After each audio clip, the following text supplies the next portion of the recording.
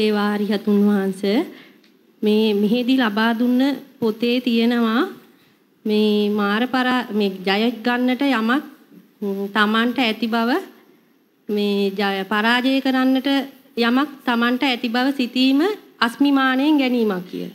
එතකොට අපි දැන් මෙතෙන්ට ආවෙත් යම්කිසි දෙයක් ජය ගන්න. යන්නේ මේ මාර පරාජයක් කරන්න අදිස්ථාන කරගෙනනේ. ඒකත් අස්විමානයට වැටෙනවද ස්වාමීන් වහන්සේ? මොකද්ද මොකද්ද ප්‍රශ්නේ මට හරියට තේරුනේ නෑ ඔයාගේ ප්‍රශ්නේ. මේ පොතක් දුන්නනේ අපිට මෙහෙන් කොයි පොතක්ද කොයි? ඒ පොත කියවනකොට ඒකේ තියෙන බුද්ධ භාවනාවේ චතුරාර්යකා කියලා. ආ ඔව් චතුරාර්යකා කියන්නේ හතර කම්ටහන්. ඔව් ඒ පොතේ තියෙනවා ජය ගන්නට යමක් Tamanට ඇති බව පරාජය කරන්නට යමක් Tamanට ඇති බව පිරිසිඳ ජයගන්නට ජයගන්නට තියෙන දේ මෙත්තා කරුණා මුදිතා උපේක්ඛා අලෝභාදී සමෝහ ලෝභක්කේ දේශක්කේ මෝහක්කේ පරාජය කරන්න තියෙන්නේ ලෝභ දේශ මෝහ අස්මිමානිය ඒක හරි.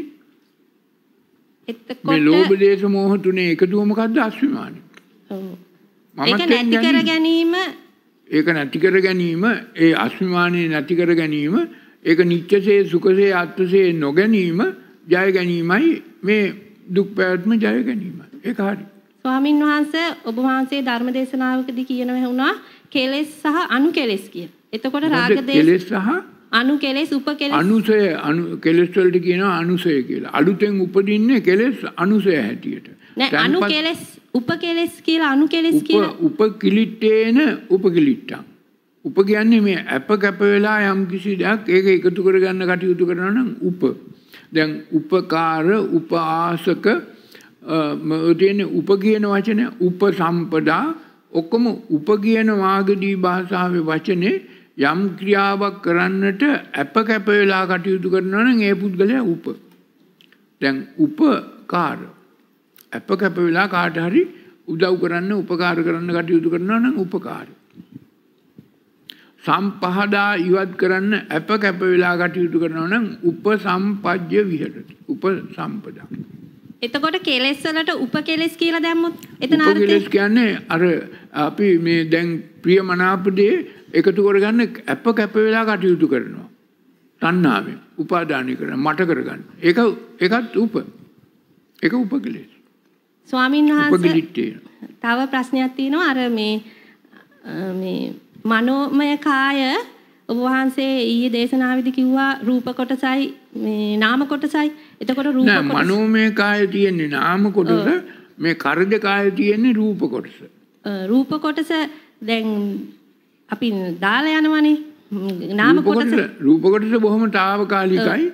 මේ වගේ කෝටි ප්‍රකෝටි වාරයක් මේ රූප කොටස ආය ආය එකතු කරගත්ත ආය ආය එකතු කරගත්ත එකතු කරගත්ත දේ ආය දාලා ගියා. එතකොට නාම කොටස අපි නාම කොටසේ නාම කොටසේ මේ මනෝමය කාය කවදක්වත් නැති වෙන්නේ නැහැ ඒ කොටස තියෙනවා. එතකොට ස්වාමීන් වහන්සේ මේ ඔබ වහන්සේ අරිහත් ත්වයට පත් වෙලා ඉන්නකොට ඒ කොටස මොකද්ද වෙන්නේ අවසානයේ ඒ කොටස මේ කර්ම බීජ රහිත බවට පත් වෙනවා එකම කර්ම බීජයක් නෑ. අශේෂ විරාග නිරෝධෝ. සියලු කර්ම අතීතයේ එකතු කරගත්තු සියලු කර්මත් ඉවරයි. වර්තමානයේ අලුතෙන් කර්ම බීජ එකතු කරගන්නෙත් නෑ. අනාගතයට භාවිතා කරන්න කර්ම බීජ හදන්නෙත් නෑ.